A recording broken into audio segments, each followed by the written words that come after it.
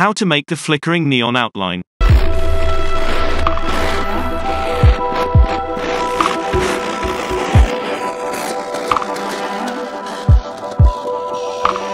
Today's video is sponsored literally by everyone who are supporting this channel with beers.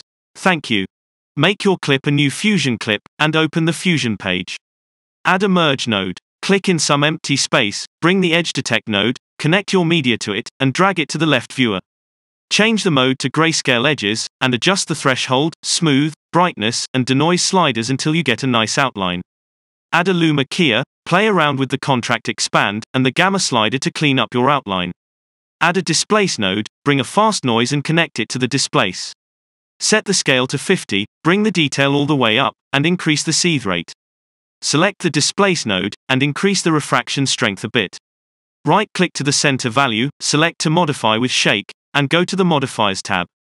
Bring down the smoothness, set the minimum to 0.4, and the maximum to 0.6. Add a glow node, bring down the shine threshold, choose your desired color, and adjust the spread, gain, and opacity to your liking. Once you are satisfied with the result, connect it to the merge node. Select the merge node, right-click to the blend slider, and select to modify with audio. For this you'll need to install the Reactor plugin, and activate the Suck Less audio modifier. Go to the Modifiers tab, browse your WAV file. Experiment with the mode, filter, and the amplitude scale, to find out which one works best for you. If you liked this clip, subscribe to this channel.